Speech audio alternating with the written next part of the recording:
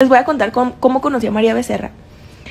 Eh, fui a Argentina porque me tocó colaborar con Babi en un featuring y yo estaba en Mueva con Omar Varela y pues ahí estaba Babi.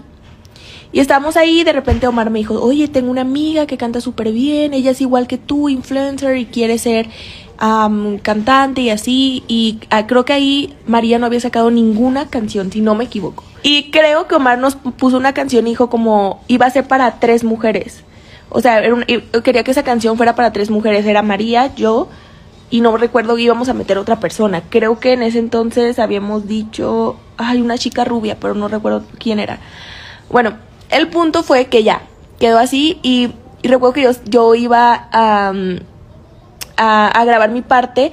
El punto es que María entró y grabó su parte y yo me quedé ahí y yo le dije, yo la vi tan nerviosa que yo le dije, oye, ¿quieres que me salga? Le dije, y me dijo así como de sí, como sí salte, como que me da pena. Y recuerdo que me salí y me puse a tomar un café o algo así y ella grabó, grabó su parte y cuando yo entré y escuché su voz dije, wow